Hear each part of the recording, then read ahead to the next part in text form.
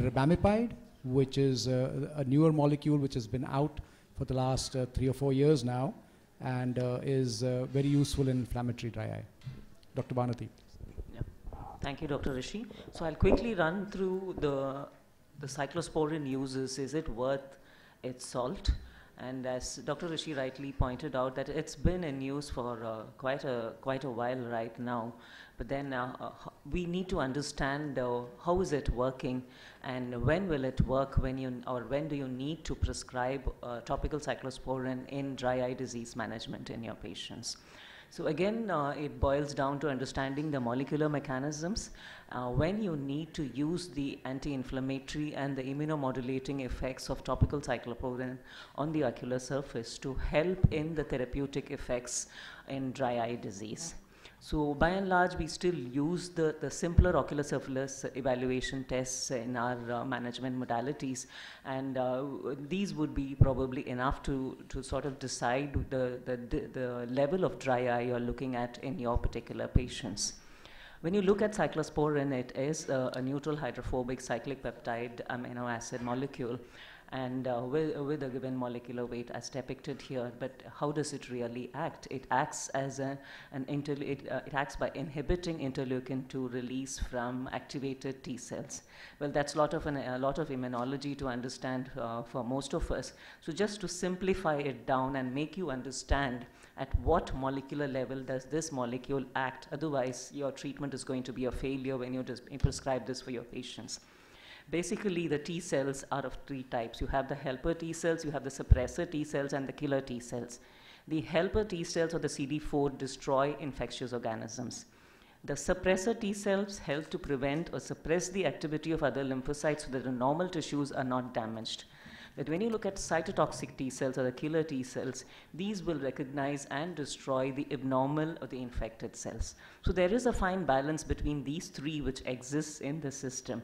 So when there are activated T cells, they release a lot of interleukins or inflammatory inflammatory mediators and uh, this is the level at which cyclosporin acts. It's a powerful T cell modulator and inhibits T cell from producing toxic mediators.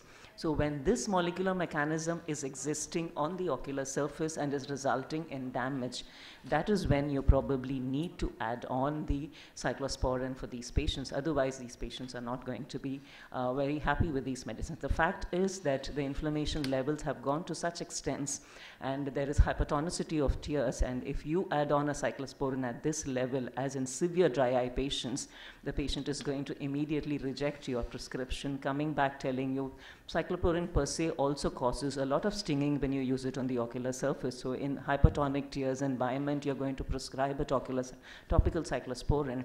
The patient is not going to be compliant to usage. So the ideal or the potential candidate to whom you need to prescribe topical cyclosporin is when you're looking at probable moderate dry eye patients. You've already treated them with or they are on treatment with lubricant therapy. You take care of their inflammatory status to bring it to an acceptable level take care of the hypertonicity of the tears, and then add on a cyclosporin topical medication is when you're going to have a successful management of using this molecule and cyclosporin becomes worth its salt in, in such a scenario.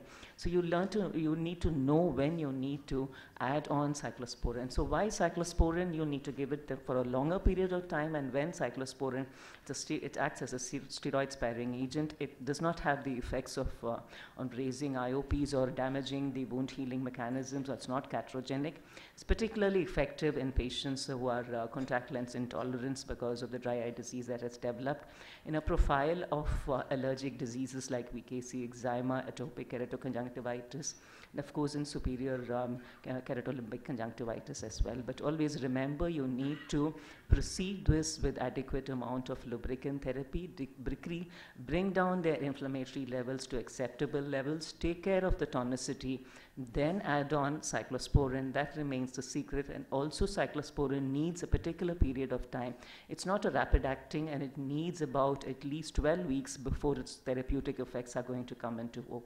So you need to keep these mechanisms in place and you need to keep the therapy on for these patients. So compliance is a major issue when you need the immune modulating anti-inflammatory effect of cyclosporin to come into action in these patients. So we did do a molecular level study.